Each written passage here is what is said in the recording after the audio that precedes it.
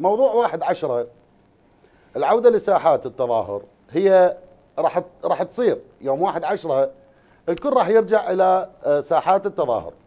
لكن آه، الاتفاق أنه بدون خيم بدون تصعيد مجرد إحياء يعني ذكرى آه، مظاهراتنا العظيمة.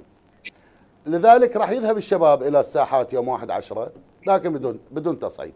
الخوف من أنه أكو جهات رافضة لوجود السيد الكاظمي على رأس السلطة. أن تستغل هذا التواجد أن تستغل هذا التواجد وتنشئ مظاهرات باسم المتظاهرين تسعى لإسقاط الحكومة. السيد الكاظمي اليوم عدد كبير من الكتل السياسية يعني غير راغبة بوجوده بعد ما ضيق الخناق عليهم بالمنافذ الحدودية بعد ما بدأ آه، يرسل رسائل يعني اجتماع البارحة بالوزراء وكلامه مع الوزراء إنه اللي يخاف بعد يقعد ببيته إحنا لازم آه، نكون انتحاريين. تدري أكو وزراء يعني آه، عندهم ارتباطات سياسية. هذا شو راح يقدر يشتغل بهالطريقة هذه؟